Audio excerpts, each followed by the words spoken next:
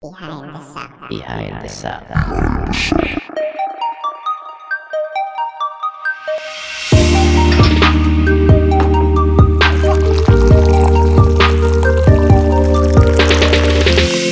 Halo, gua Moko, host dari Behind the Sound, podcast dari Shoemaker Studios.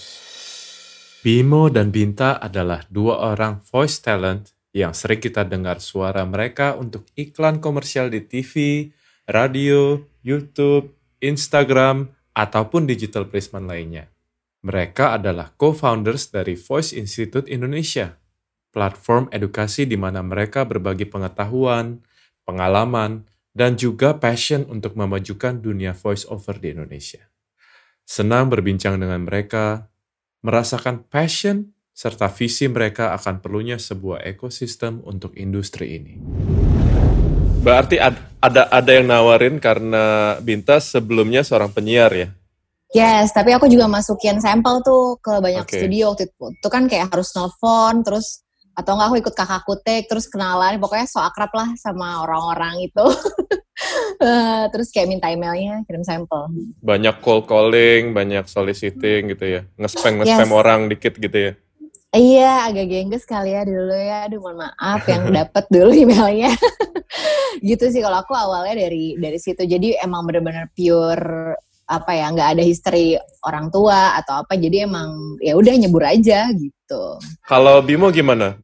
Nah, kalau aku beda mungkin sama Binta karena aku dari ke- eh, dicemplungin orang tua ya waktu itu Oh, wow. wow. Bilang child Iya. labor. child labor. ah.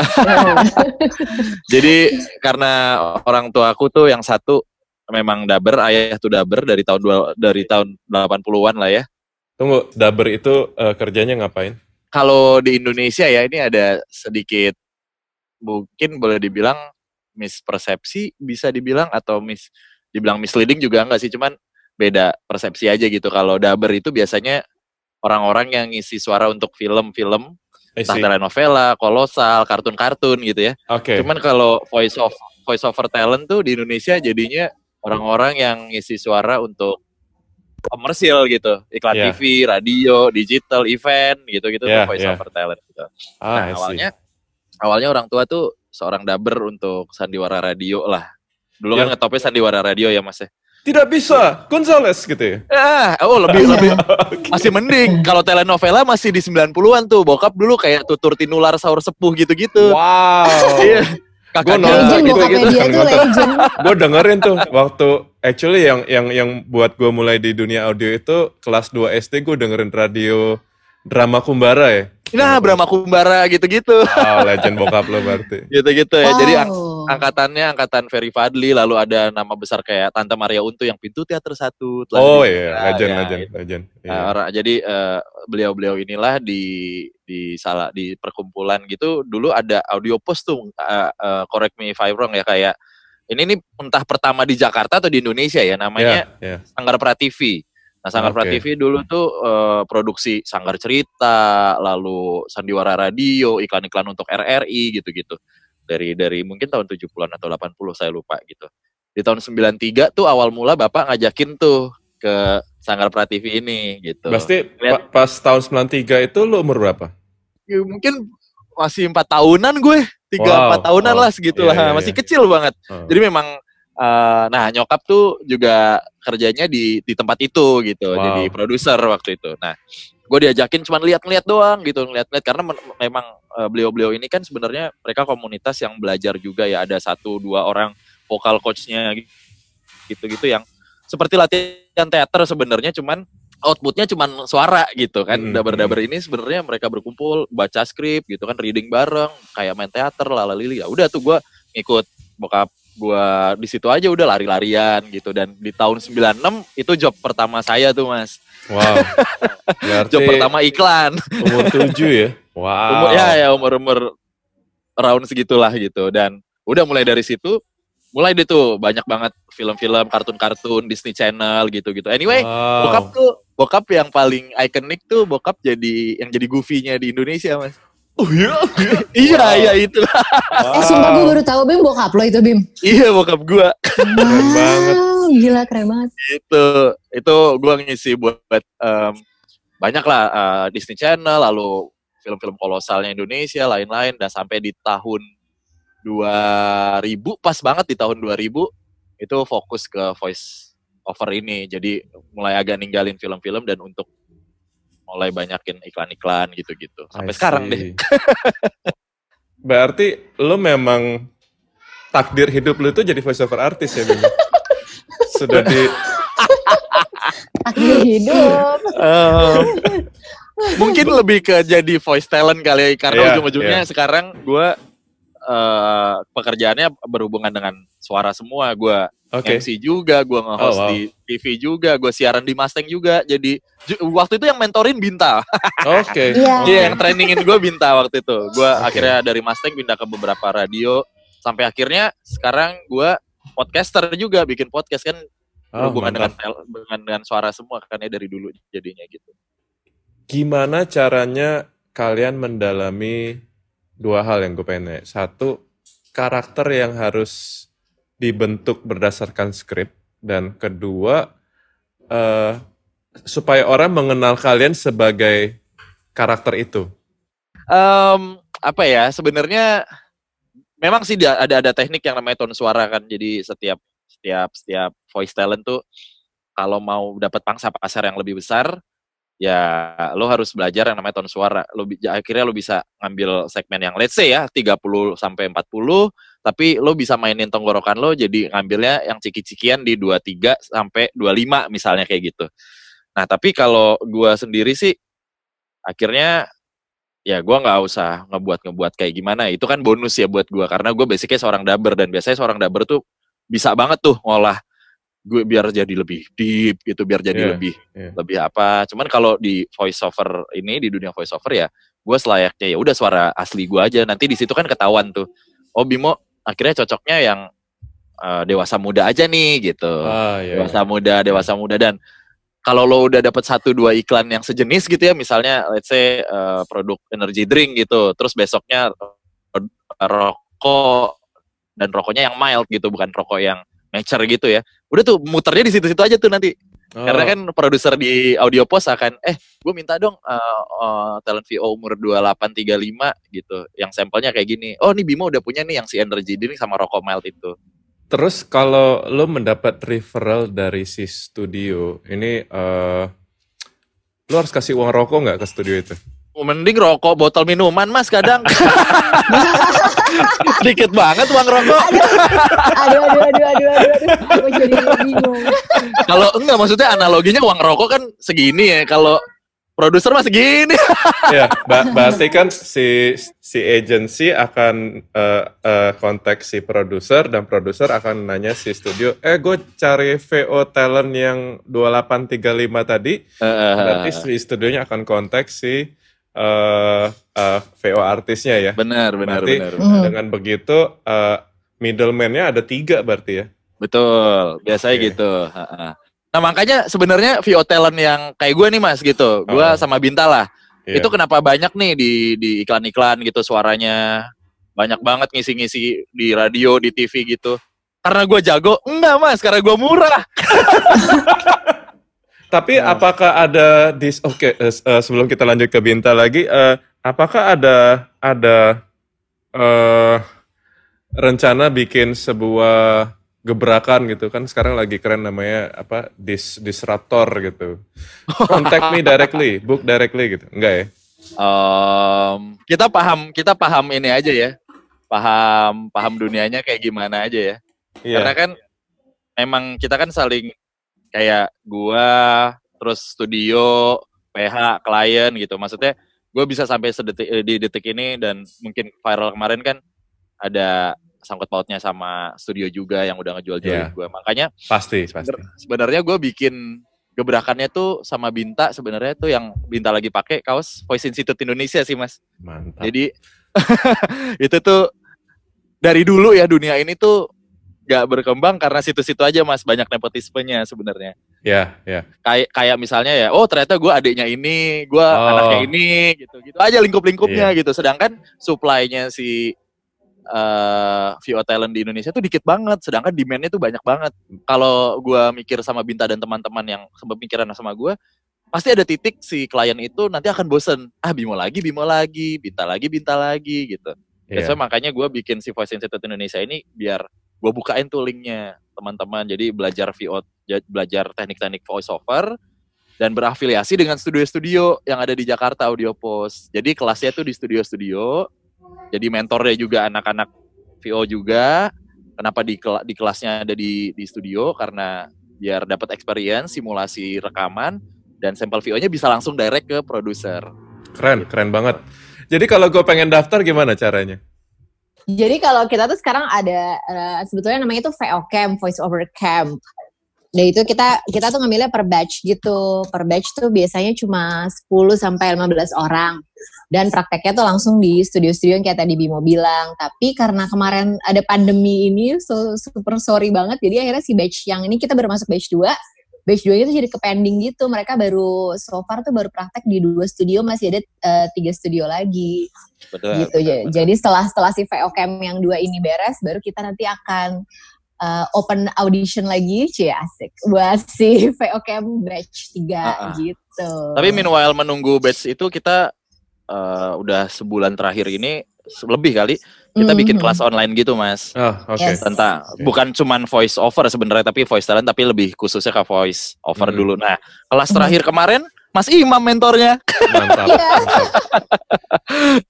kayak gitu tadi kayak Bimo bilang sih uh, gue sangat suka uh, pola pikir lo ya bahwa lo include semua orang di rantai industri lo untuk terlibat hmm. untuk membenahi dan memperindah dan memperbesar industri ini.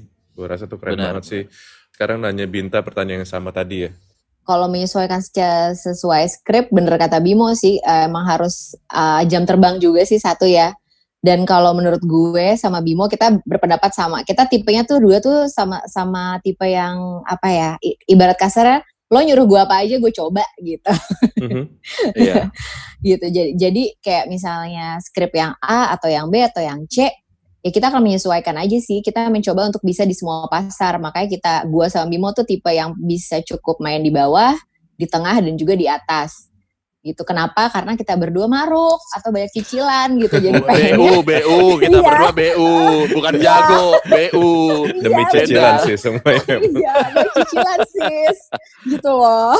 Iya, iya, pengennya, iya. pengennya bisa nggak cuma di yang teens aja, tapi juga di dewasa muda yang kayak first jobber gitu, misalnya 25 sampai 30-an sampai yang 30 ke atas. Cuma kalau produk teens gue masih sering dapet tuh, masih yang kayak Binta uh, coba kayak jadi anak baru lulus SMA ya atau enggak anak SMA yang kayak baru 17 baru sweet seventeenan ya gitu masih masih dapet tuh kayak gitu-gitu. Yeah. Jadi dan cewek anaknya sih lebih luas juga ya maksudnya iklannya kan ada iklan beauty, ada iklan apa ya, ada iklan bumbu masak yang kayak yeah, gitu, yeah, gitu yeah, banyak lah yeah. hmm, gitu. Dan makin lama kan makin dikenal sih kalau misalnya lo bisa semuanya lo akan dijual ke hampir semua produk sih. Yeah. Uh, Enaknya gitu. Lo pernah nggak misalkan lo dapat sebuah skrip dan ternyata pas lo lihat ini gue nggak cocok nih dan oh. lo akhirnya nelfon lo, lo atau refer lo mestinya konteks si A atau si B nih. Kayaknya dia lebih cocok buat lo. Itu lo lakukan karena memang eh, nggak uh, cocok atau mm-hmm. lu nggak suka aja sama kliennya? Ada kan ada gitu kan? Ah rese nih klien rese nih uh, enggak sih kalau kalau um, di tengah jalan gitu ya.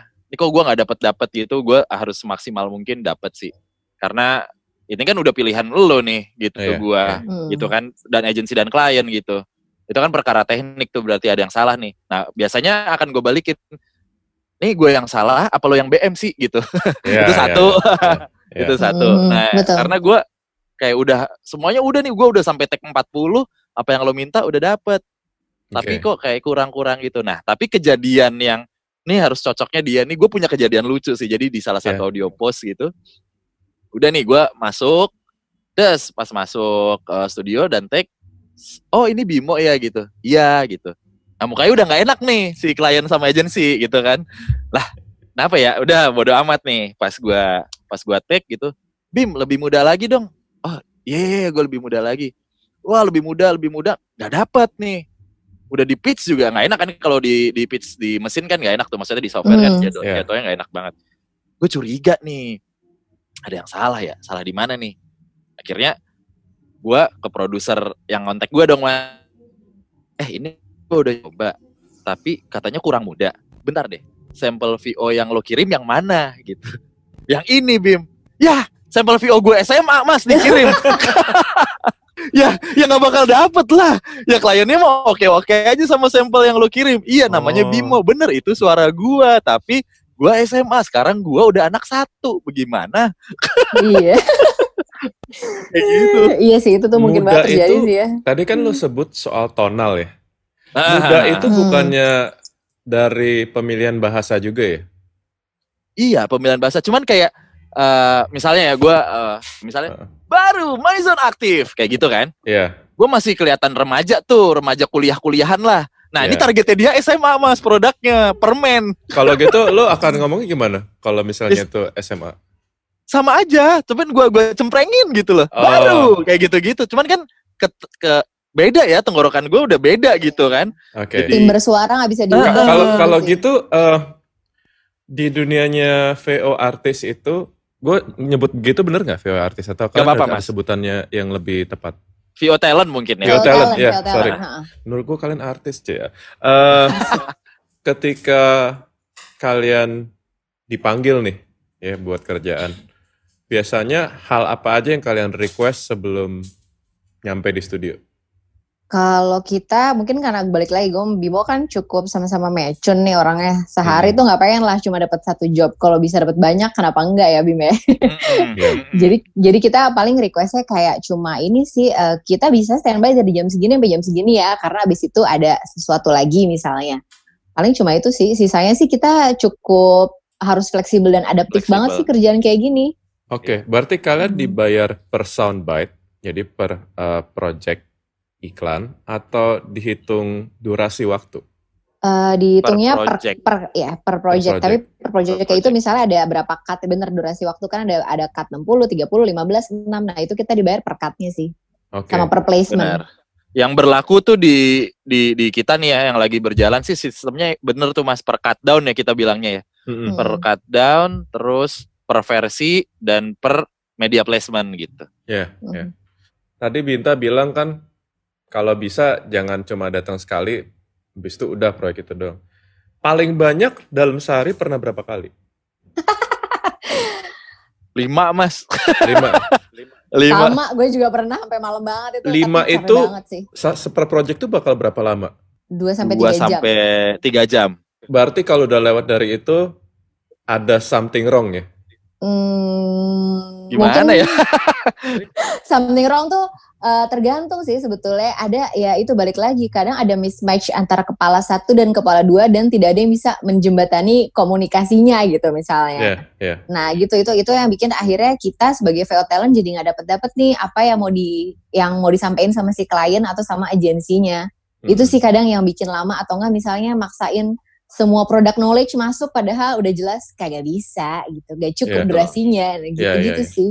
Kalau managing time kalian ketika lagi di studio itu sama managing moodnya apa yang kalian lakukan? Jadi, jadi gue gue kebayang nih kayak lu tadi bilang 5 gitu Bim. Berarti lu Ah. dari jam 9 pagi udah di studio, lu pulang Iya, jam 12 iya, malam gitu. Terus Iya. tiba-tiba eh, Mas sorry nih, ini masih ada lagi nggak ya? Soalnya saya harus ke yang taping berikutnya nih. Heeh. Lu nggak di, Iya. lu nggak digampar gitu sama produsernya? Kan udah janjian sebelumnya Iya, Produsernya udah- sama udah- juga ya? kan eh se- sebelum gini mas Oke, sebelumnya udah janjian Heeh. terus kan udah kita kasih bagian Oh iya. Iya. Eh, Oke, tapi biasa itu sudah sudah saling mengerti ya di antara Sudah. pekerja industrinya. biasanya juga ada di studio yang memang ya Bim sampai jam 3 aja biar gue bisa masuk lagi nih job baru jam 4 gitu Hmm, atau jam see. 5 gitu I see. Tapi Ah, kalau misalnya mereka minta panjang pun misalnya kayak, eh ini katanya banyak banget loh, sumpah. Jadi lo boleh kayak lama, mereka juga akan komunikasiin dari awal sih. Oke. Eh, sebelum pandemi ini terjadi, itu golden golden eranya karir kalian tuh di tahun berapa? di tahun ketika dunia digital keluar tuh mas. Iya. Jadi Bener. jadi ah, jadi waktu itu sebenarnya kita voice talent itu punya punya ketakutan ketika wah radio udah mau mati nih gitu kan radio siapa yang denger gitu Mm-mm. wah TV iklan TV jarang yang nonton TV nih ternyata malah lebih nyayur nih iklan di YouTube di Instagram dengan durasi-durasi iklan yang 5 detik Iya. 7 detik 6 detik gitu Hmm. tadi kan biasanya kita 60 second banyak kan di era-era Iya, 2000-an gitu 30 60 30 60 cuman sekarang ada 5 second ada 6 second bahkan ada dua menit ada satu menit 40 detik gitu buat di YouTube gitu kan YouTube, Iya, mm. iya. jadi media media media placementnya banyak banget gitu Untuk yang 5 detik itu dan ternyata iklannya hanya 5 detik itu, lu ngecas harganya gimana ya? Heeh. Sama lah, hello. sama mah Berarti kan- gile pede banget Binta Berarti kan harga itu ada ada harga basic. Jadi harga yang lo mau gue ngelakuin 10 pun minimum charge-nya sekian gitu. Terus habis itu baru Ah. top up gitu ya. Sorry, sorry Ya. gue gue nanya terus karena gue gue penasaran Mas. Nggak akan apa-apa. industrinya. ini ini asik banget maksud gue pertanyaannya begini kek setiap Iya. gue diwawancara Iya, iya. Nggak, nggak cuma bertanya basi iya nggak yang Iya, oh iya. gimana kamu menjaga suara ah elah Iya, gitu ya. Enggak, enggak, enggak. Sebenarnya em, fleksibel sih. Mungkin ini jadi Hmm. edukasi juga buat teman-teman yang baru mau terjun di industri Terjun. ini gitu. Benar, Oh, benar. uh, untuk lo nggak bisa semena-mena uh, netapin rate dan lo kalau mau survive di industri ini ya lo fleksibel man gitu. Sama Oke. kayak freelancer mah apa aja, apa pun itu bener Yes. kata Mas Moko tadi pe- penyedia jasa gitu lo kalau nggak Iya. fleksibel kayaknya kecuali lo mungkin ya udah ada backingan kuat di belakang lo gitu atau gimana gitu ya. Iya, tolong nggak Sebenarnya- butuh-butuh amat uang. Iya. hitungannya misalnya ada 4 second eh, ada 4 cut down gitu 5 15 30 60 gitu biasanya ya misalnya satu juta satu juta satu juta 4 juta gitu ya ya udahlah bayarnya 3 juta aja misalnya kayak Ya. gitu Nah, itu namanya harga paket kalau di VO ya. Yang suka ngerusak harga di pasaran lu siapa? Gue gue nggak tahu. Tapi selalu ada orang-orang seperti itu gitu. Duh Ada, anjir ada. pertanyaannya lagi iya lagi bener lagi. Gue sama Bimo pasti udah mikirin Aduh. sama nih. Eh sebenarnya gua kalau untuk pribadi ya pribadi yang rusak harga sih sebenarnya gua nggak nggak begitu takut sih Iya. kalau kalau dibilang gua sama Binta juga kadang rusak harga gitu Oke. Karena gini, gue pikirannya ya, misalnya lo newcomer gitu, newcomer lo dibayar seratus ribu gitu, seratus ribu satu cut, gue satu juta nih satu cut gitu. Iya. Suara lo bagus, teknik lo oke, Hmm. seratus ribu nih, das, ya udah nggak apa-apa bim, biar lo dapet, eh, biar gue dapet job terus kan, ya udah monggo silahkan gitu. Tapi yakin deh, pegang pegang omongan gue, di job kelimanya dia, dia nggak nyaman dengan angka seratus ribu, yakin gue pasti Oke. dia akan eh, coba dong mbak tambahin apalagi dia udah bergaul sama kita kita dan ternyata tahu nih dapurnya gitu entah di job kelima atau keberapa ya sekarang ini terjadi sih maksudnya gue sharing sama Mhm. beberapa teman-teman Vio juga nih terjadi juga dan di saat dia rate-nya udah mulai naik sialnya dia tidak bisa mempertahankan attitude-nya dulu ketika dia lagi dalam tanda kutip ngemis kerjaan gitu Ah, iya, iya, iya. dia dilihat sama studio kayak ah lo kok udah mau naik jadi begini nih gitu Oke. dan ternyata mungkin ada satu dua yang nggak fleksibel dan nggak tahu nih cara main di industri ini dan Iya. dia nggak mau sharing ke kita kita karena malu rate-nya murah akhirnya ya ah dia ribet nah ketika studio udah ada kata ribet itu mendingan gue pakai yang mahalan dikit tapi gue kerja 5 menit selesai daripada 15 menit gitu Iya, iya. Iya. Pastinya sekarang banyak juga karena dunia digital ini makin rame, dia bisa kontak lu directly via Instagram, kemudian lu akan ngasih dia sebuah red card atau gimana prosesnya? mungkin eh, akan ngasihnya kayak gini sih. Bu ini saya akan gue lebihin sebenarnya. Jadi sebenarnya red card gue itu akan gue lebihin lebihan itu biasanya jatahnya si produser Ya, ya. gitu. Atau Jadi jatahnya lu- lu studio lah akan- gitu Akan, Misalnya, akan gua- sama produser ya, walaupun misalkan Em, kliennya indie gitu, kliennya benar-benar yang yang yang awam banget nih. Enggak juga sih mas, sebenarnya tergantung.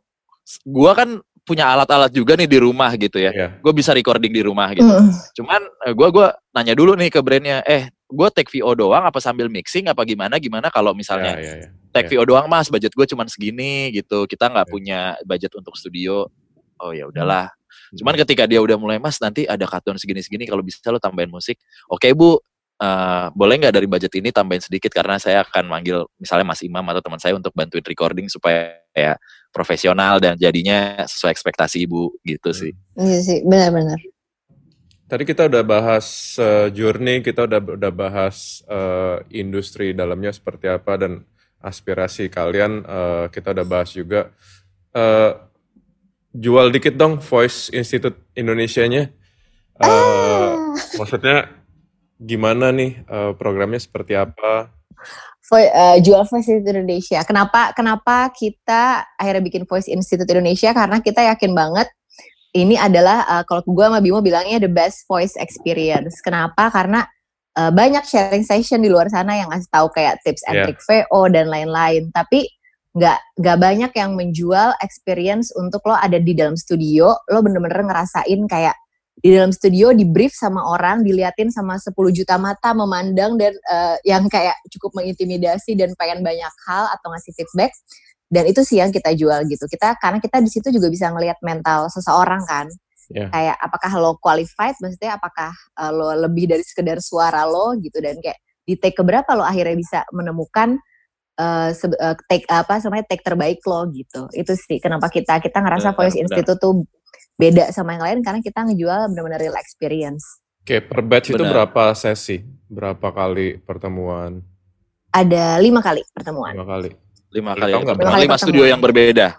Yes, okay. lima studio yang berbeda. Dan lima, lima guest mentor yang berbeda dengan lima tema yang berbeda. Berapa sih kalau gue mau ikut? Aduh, gue gak enak. Ini di dua di dua setengah juta sih mas. Setiap pertemuan itu berapa uh -huh. berapa lama? Tiga sampai empat jam 3, lebih sih. Tiga empat jam lah. Mantap. Dan rata-rata studio VO tuh Jakarta Selatan gitu ya? Iya, kita sih, kita sih kemarin kita emang ngajak kerjasamanya sama yang punya apa account Instagram juga. Oke. Okay. Gitu. Tadi Binta ada sebut bahwa dia uh, Binta mulai karirnya dari penyiar dan Bimo mulai karirnya dari uh, eh, DNA dari keturunan gitu ya. ya. Uh, Bim, berapa ya. banyak orang-orang kayak Binta nyolong job lu? Ba ba banyak mas, banyak banget, banyak banget. Cuman gue gue suka sih karena memang nggak tahu ya ini ini bukan jawaban diplomatis bukan jawaban apa memang karena salah satu ini cita-cita bokap gue dari dulu gitu supaya profesi ini lebih lebih ada awarenessnya lah di Indonesia karena di luar negeri kan udah udah profesional banget ini industri yes. yeah. dan itu itu bener banget juga kata Mas Moko tadi gue nggak pernah akan ngelupain uh, rantai industri ini karena gue pengennya dan teman-teman voices itu tuh nyiptain sebuah ekosistem yang lebih bagus sebenarnya. Hmm. Ekosistem itu kan semuanya harus berperan hmm. tuh. Bukan gue doang, bukan Binta doang ya, tapi ada teman-teman dari seperti Mas Imam, seperti Mas Moko, let's say jingle maker.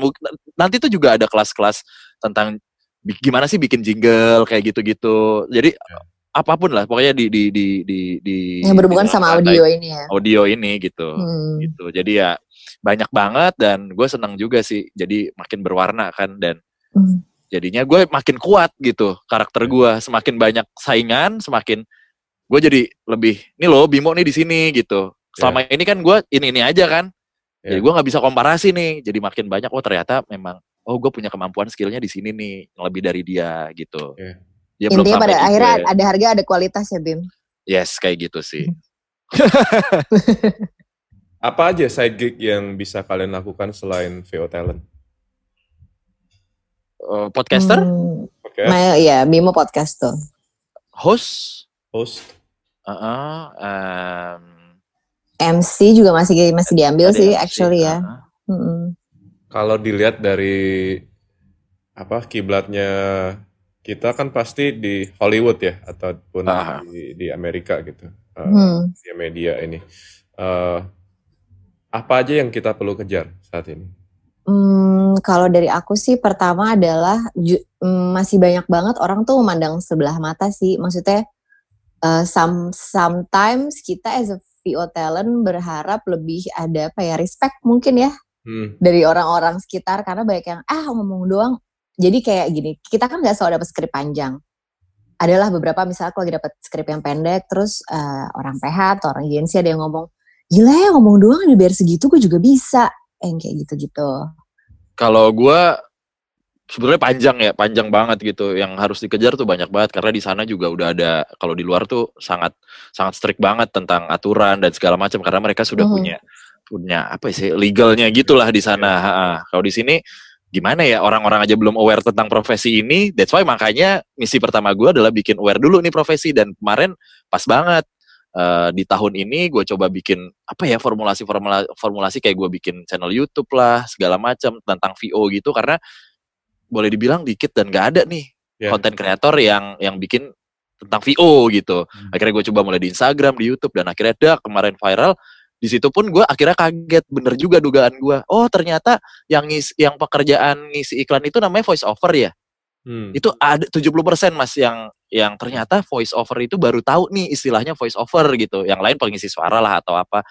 Bahkan masih banyak yang eh Bang enak banget tuh ngomong yang kayak tadi Binta kayak gitu doang. Jadi memang Mhm. baru kebuka nih. Oh, ada nih profesi ini. Oh, ada ya ternyata yang isi suara. Gue kira orang iklannya gitu. Hmm. Gue kira talent iklannya. Gue kira siapa gitu. Oh, ternyata asik juga.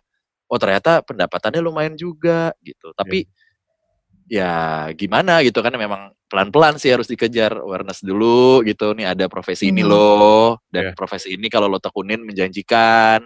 Hmm. Nah, itu satu. Terus profesi ini nggak gampang loh. Kenapa nggak gampang? Nih, coba lo baca skrip ini dengan teknik ini. Lo kira ngomong doang, nggak kan? Hmm. Gitu. Oke, ke- setiap setiap pertanyaan yang, oh kalau gitu gue mau belajar. Gue juga udah pikirin, that's why makanya gue bikin Voice Institute. Langsung gue arahin ke sana. Iya. Kayak gitu-gitu, pelan-pelan sih mas. Eh, di di dunia ini eh, cita-cita lo sendiri mau ngapain, Bim? Aduh, gimana ya? Cita-cita sih ya, kalau di luar negeri tuh ada ada namanya vokal director. Di, di Indonesia udah ada nih vokal director buat nyanyi gitu. Mhm. Di Ya. dan di Jakarta paling ada satu dua orang doang gitu. Dan sekarang udah hilang nih vokal director. Kenapa sudah hilang? Karena nggak ada yang mau. Aduh, ngapain sih lo jadi voice director? Ngapain sih kerja di sini? Mendingan gue di BUMN, mendingan gue di oil, mendingan gue apa? Kayak gitu-gitu. Mhm. Berarti sekarang kalian yang harus mengawasi kualitas kalian sendiri. Ada copywriter sih, copywriter, produser dari orang-orang yang ada hadir pada saat kita take itu. Plus ya sound engineer juga kadang karena Masih udah imam. banyak. iya bener. Karena mereka udah denger baik banget suara, jadi mereka tau lah kayak, oh kalau si ini tuh karakternya begini, kayak lo mestinya bisa push lagi deh, atau yang kayak gitu-gitu sih. Sound engineer sih yang bantu banget justru. Berarti Hmm. orang seperti imam yang menjadi penjaga gerbang buat kalian nih. Banget. Iya, Oke. banget. Dan Padahal kan sebenarnya nggak gitu. Iya, Lu bener. Kalau jagain VO, Mam, lu jagain berarti lu akan baca skripnya depan lo supaya memastikan bahwa yang mereka baca itu sesuai skrip. Dan apalagi yang lu jaga, Mam? gue sih biasanya paling rewel kalau misalnya ada tag VO itu gue minta skrip duluan sih pasti skrip Oke. buat gue mana Oke. terus sudah dari situ begitu VO kita mulai tag yang biasanya gue paling jaga itu satu mood intonasi sama ini. Kebanyakan tuh nggak tahu ya gue sih nggak tahu di studio lain. Cuman kalau gue lebih prefer kayak jembatan eh apa spasi antar kata sama kalimat itu jadi ada kan suka ada yang kecepatan sama kelambatan tuh. Kadang suka nggak nyambung dari kalimat satu kalimat kedua. Nah gue lebih ngejaga supaya nyambungnya itu. Kalau masalah tone kalimat gue bisa tag ulang lagi. Berarti besok lo boleh minta naikin fee dong, Mam. Kan tugas Bisa. bukan ngerekam. Nah, nah itu, nah itu. Iya, iya bener banget lo. Kalau Gila, kalau di, engineer tuh lain lo supervisor, ya kan? iya gue kayak Kalau- apa ya Kalau di kalau di lapangan lo mandor, ya nggak? Lo lo iya, merhatiin, mandor ke lo arsitek QC, terus iya besok naik nih harganya. Amin. Iya. Orang bahkan tuh ada ada yang sampai se se se ngejagainnya tuh kayak dia sampai balik badan gitu ya engineer-nya bilang ke pihak ini ini aja gue yang lihat tuh anjir takut banget gue ini studio di blacklist gitu ya Eh, kayak "Eh, Mbak Mas maaf ini talent VO-nya itu sudah sesuai dengan brief kalau Mas pengennya seperti itu pertama suaranya dia tuh tidak sesuai dengan briefnya kedua secara teknis ini saya tuh nggak bisa untuk nyambung nyambungin yang tadi Mas Imam bilang Ya. ini akan jadi panjang. Menurut saya better supaya ini kita efektif dan efisien. Udah, ini saya akan kerjakan, bla bla bla sampai segitunya. tapi gue kadang juga nemu ada beberapa agensi yang malah percayanya ke gua. Jadi kayak mereka datang tag nggak ada produser nggak ada director atau vokal director gue cuma dikasih skrip terus si agensinya udah gue percayain ke lu deh mas pilih yang bagus aja. Udah cuman mas ini skripnya ya gini gini gini. Oh udah kita tag. Tag bla bla bla. Udah langsung preview aja tektokannya langsung ini gini. Oke udah kita ambil. Oh itu kita ambil udah jadi lebih enakan begitu sih ada ada juga yang kayak gitu meskipun ada yang rewel ya tanda kutip kayak so ide aja sih Menye- karena mereka tuh mostly pengen nyajiin opsi buat klien sih sebetulnya. Apa tiga tools yang krusial banget supaya kalian bisa melakukan pekerjaan kalian dengan sangat mudah? Kalau gue sih nggak ada sih, gue nggak selebay itu sih. Karena gue udah tahu ya rata-rata gue udah tahu nih nih studio ini pakainya apa, headphone-nya gimana, gue udah tahu. Terus karakter engineer-nya gimana gitu. Ya. Jadi tools-tools terbaik kita adalah ya suara kita harus kita make sure uh, lagi dalam kondisi prima sih. Kayak misalnya harus Ya. tahu pantangan pantangan makanan. Ada kan yang nggak bisa makan dingin, eh, misalnya minum dingin atau minum manis yang bikin lebih jadi banyak lendir suaranya atau gimana. Justru menurut gue harus lebih aware di situ sih. Gue jujur ya, gue sih bodo amatan. gue takut kesuges mas, gue ngerokok, gue apa segala macam. tapi tapi jangan ditiru ya. Tapi karena gue tuh orangnya agak baper ya. Dari dari maksudnya gue lebih ngambil ke hati dan pikiran gitu. Omongan orang lah apa segala macam. Jadi gue Binta tahu banget tuh. Jadi gue lebih memilih untuk bodo amat. Karena ketika nanti gue dikasih tahu misalnya kayak Bim lo tuh jangan makan gorengan nanti suara lo kayak gini-gini akan ketanam tuh mas dalam diri gue dan akhirnya nanti kejadian kayak gitu musuhnya kalau gue cuman ngantuk gitu doang kayaknya semua profesi ya cuman kalau ngantuk Iya. tuh gue udah eh nggak sinkron dan geter tenggorokan gue Lo pernah nggak kalian berdua ketika harus take tiba-tiba oh my god hari ini gue nggak bisa ngomong sama sekali. oh pernah pernah pernah Pernah, pernah lah. pernah banget Apa yang terjadi? Maksudnya lo mesti ngadepin si klien ataupun teman-teman produksi gimana tuh? kalau gue sih hilang suara tuh jarang karena gue eh, tipikal orang yang jarang banget nggak bisa ngomong dan hilang Oke. nah, ka- tapi gue lebih ke bindeng gitu Oh iya iya. Kalaupun gua udah nggak bisa, capek tuh biasanya udah di H-2 atau H-1 di mana gua masih bisa untuk mbak gua nggak bisa bangun besok, lo cari deh yang lain. Lo mau cas gua juga nggak apa-apa, gue bilang kayak gitu. Nah, tapi kejadiannya hari H, gue pilek, bindeng, itu gua eh, pernah banget tuh. Jadi akhirnya gue punya satu obat yang cocok lah sama gua. Itu bisa di di di di drugstore juga banyak lah di apotek-apotek gitu banyak gitu gue bindeng banget karena bindeng banget kayak gini terus gue bilang ke kliennya ma bu terus ke agensi mas terus ke studio juga nih gue lagi bindeng parah gue minum obat ini 15 menit suara gue normal gitu gue gua gua minum obat gue coba eh, keluarin lendir gue gue minum air hangat gue normal maksimalin Wah. 15 menit gue ya gitu nanti ketika habis 15 menit gue udah mulai sengau lagi tuh break dulu aja lagi gimana gitu Hmm. gue juga hari ini agak fleksibel kok mohon mohon ininya ya mohon apa namanya Bantuannya. gue bilang gitu Ha, gitu sih Kalau lo bin? Kalau gue pernah juga sih ngalamin kayak gitu, tapi ya itu gue sih biasanya akan kayak ngasih tahu juga. Misalnya kalau gue taunya baru pagi pernah tuh kayak gitu, tiba pagi suara gue tot kayak bener-bener serak banget. Gue kirim sampel gue kayak, Mas, gue ngomong suaranya kayak gini loh. Gimana nih lo mau proceed sama gue atau sama yang lain? Gue bilang gitu. Terus eh, biasanya gue tapi karena gue kebetulan kakak gue VO talent, gue kan langsung kayak, eh kakak gue lagi bisa nih lo nggak mau sama kakak gue aja. Iya iya. Iya. gitu. Bantu nyari solusi buat mereka ya. Iya. Yes, betul. gitu. Hmm. Ada yang mau kalian sampaikan nggak? Atau ada yang mau diceritain lagi? Em, ini satu aja sih yang selalu gua dan Binta mungkin lagi kalau ada kesempatan kayak gini kasih tahu ke teman-teman gitu ya. Eh, semua orang tuh punya suara yang bagus. Jadi jangan takut jangan takut. Bilang ah kan gua suara gua ngebas suara gue cempreng Hmm. even eh, sorry suara gue cadel gitu. Kalau ditanya bisa nggak jadi VO talent? Gue gue selalu jawab tuh sangat bisa tergantung skrip dan produk yang akan nanti sesuai dengan karakter suara lo. Nah, modal seorang VO talent itu sebenarnya bukan suara bagus. Yang dari Yes. tadi kita omongin itu sebenarnya kalau teman-teman bisa nangkap adalah VO talent yang sering dipakai itu VO talent yang bisa dengan cepat dan tepat mengaplikasikan teknik-teknik VO talent gitu. Jadi percuma banget kalau suara gue bagus, uh, suara gue oke, lo belum pernah punya sama sekali experience dengan sharing-sharing. Ketika lo dapat brief, let's say kayak, Bim, ini produk asuransi, ceritanya lo jadi anak yang baru nikah, tapi ibu lo lagi sakit, sakit keras, tiga minggu lagi udah difonis die, tapi tenang aja, kehadiran asuransi ini memberikan solusi keuangan dan proteksi bagi lo. Silahkan monggo kalau gua dan Binta mungkin udah bisa oh berarti tone suara yang gue pakai adalah dewasa yeah. muda moodnya harus kayak gimana tapi tetap ada yakinnya nah orang uh, mungkin teman-teman yang suaranya bagus yang belum pernah dapetin experience kayak gitu pasti bingung tuh gimana ya kayak gitu jadi sayang kan suaranya Yeah. Sama itu sih kalau dari gue harus harus satu adaptif banget, dua harus tahu gimana juggling sama mood sendiri. Karena kita kadang bisa dapat easy day kayak 1-5 take oke, okay, tapi ada yang hard day kayak 20 kali sampai 40 kali take nggak dapet dapet juga gitu. Jadi lo harus tahu how to tackle your mood juga sih. Oke, okay, thank you ya. Iya. Yeah, Mas Wopo thank you so much. Thank you, thank you, thank you Mas Imam. Thank you, thank you banget. Bye. Bye. Bye.